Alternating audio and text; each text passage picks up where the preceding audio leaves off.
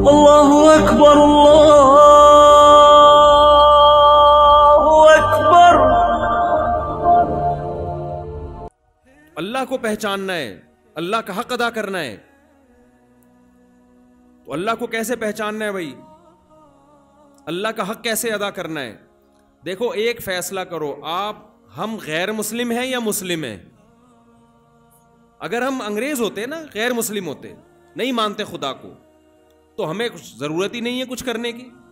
लोग अक्सर हवाले देते हैं, वो देखो कितने खुश लोग हैं, वो लोग अंग्रेज़ लोग ये कर रहे हैं, ये कर रहे हैं, ये कर रहे हैं, वो।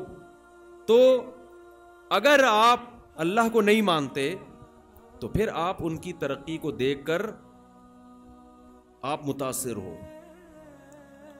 नबी सल्लल्लाहु अलैहि वसल्लम के पास हज़रत उमर रज़ी अल्लाह तु आए। हज़रत उमर ने नबी सल्लल्लाहु अलैहि वसल्लम को देखा जब घर में आए ना किसी काम से तो रसूलुल्लाह सल्लल्लाहु अलैहि वसल्लम की गुर्बत देखकर आपकी आँखों से आँसू आ गए। एक प्याला लटका हुआ था और खजूर की छाल पे आप सल्लल्लाहु अलैहि वसल्लम लेटे हुए थे। हज़रत उमर ने अर्ज़ किया, या रसूल अल्लाह जो कैसर व किसरा के बादशाह, जो गैर मुस्लिम हैं, वो तो इतनी अयाशी में, और आप तमाम पैगम्बरों के सरदार होकर ये हालत है आपकी। तो नबी ने क्या जवाब दिया? नबी ने फरमाया, ए उमर, मैं तो तुझे बहुत अक्लमंद समझता था। मैं तो तुझे बहुत यानी तू ऐसी माज अल्लाह बेवकूफों वाली बात कर रहा है, हैं भाई? फरमाए दुनिया मुसाफिर खाना है, उनके लिए दुनिया है, हमारे लिए क्या है?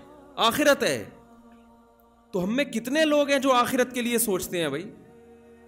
सोचते सोचते दुनिया दुनिया दुनिया, पैसा, दौलत, इज़्ज़त, शोहरत अयाशी किस तरह माशरे में जिना तेज़ी से फैल रहा है।